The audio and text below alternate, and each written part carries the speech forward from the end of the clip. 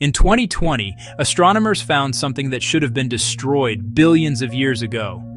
Yet it's still racing through space, intact. The system went supernova. Everything else was shredded.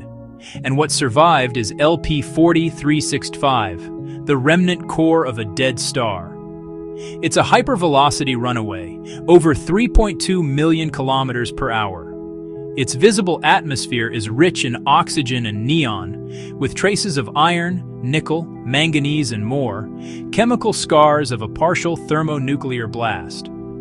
Parts of its surface glow hotter than expected, as if heat is leaking from within. Its brightness rises and falls every 8.9 hours, something on the surface spinning in and out of view.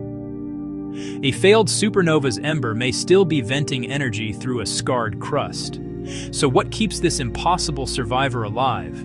Residual radioactivity, hidden fusion, or something stranger? Either way, it rewrites how stars die and how some refuse to. If this blew your mind, hit like new mysteries every day